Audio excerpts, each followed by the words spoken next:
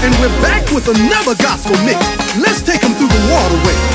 It shall be light in the evening time. The way to glory you will surely find. Through the waterway, there's a light of day. Baptized in Jesus' name. The young and old give up all their sins then the Holy Ghost will enter in. When the evening time has come, it's a fact that God in Christ are one. Come on, choir.